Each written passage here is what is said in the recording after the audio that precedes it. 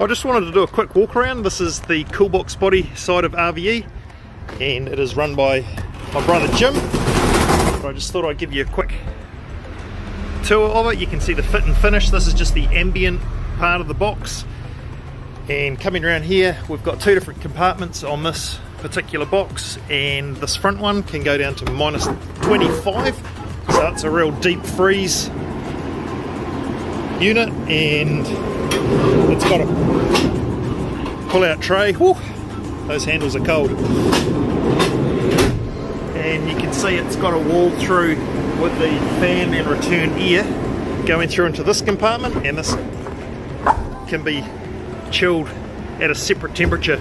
So you can have the front one on a deep freeze and this here just on a zero or minus five and it is just simply run by the controllers in the cab here. You can see the two different compartments what they're running at. And this is the actual refrigeration unit up under the cowling there. And this is just on a single cab Hilux. But they can go on all your cab chassis the likes of your small trucks and Mercedes Sprinters and that type of thing. So they're a really good solution for carrying your cold goods